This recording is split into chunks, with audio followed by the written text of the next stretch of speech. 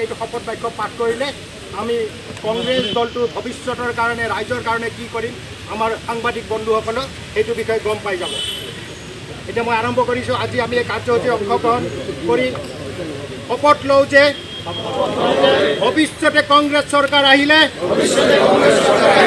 প্ৰতিটো পৰিয়ালক দুশ ইউনিট বিনামূলীয়া বিজুলী দিয়াৰ ব্যৱস্থা কৰা হ'ব।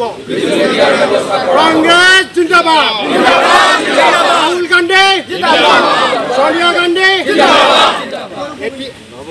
এতিয়া আমি আমাৰ দাহন কাৰ্যসূচী আৰম্ভ কৰিম আৰু দাহন কাৰ্যসূচী আমাৰ মৰমৰ আদৰৰ নেতা গৌৰৱ গগৈয়ে ধনুকাৰেৰে যেনেকৈ ৰাৱণ বধ কৰা হৈছিলে তেনেকৈ এই নটিছখন আমি আজি বধ কৰিম আমাৰ কংগ্ৰেছ দলৰ অংগীকাৰ ভৱিষ্যতে আমি দুশ ইউনিট বিজুলী ইউনিট ফ্ৰী দিম এইটো শপত বাক্য পাঠ কৰিলে আমি কংগ্ৰেছ দলটোৰ ভৱিষ্যতৰ কাৰণে ৰাইজৰ কাৰণে কি কৰিম আমাৰ সাংবাদিক বন্ধুসকলক সেইটো বিষয়ে গম পাই যাব।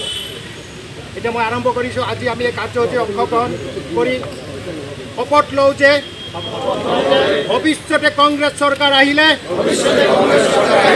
প্ৰতিটো পৰিয়ালক দুশ ইউনিট বিনামূলীয়া বিজুলী দিয়াৰ ব্যৱস্থা কৰা হ'ব।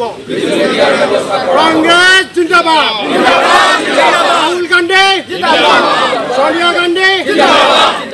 এতি- এতিয়া আমি আমাৰ দাহন কাৰ্যসূচী আৰম্ভ কৰিম।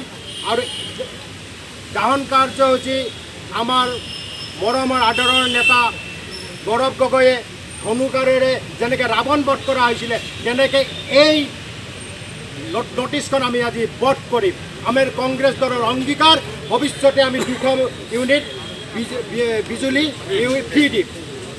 এইটো শপত বাক্য পাঠ কৰিলে আমি কংগ্ৰেছ দলটোৰ ভৱিষ্যতৰ কাৰণে ৰাইজৰ কাৰণে কি কৰিম আমাৰ সাংবাদিক বন্ধুসকলক সেইটো বিষয়ে গম পাই যাব।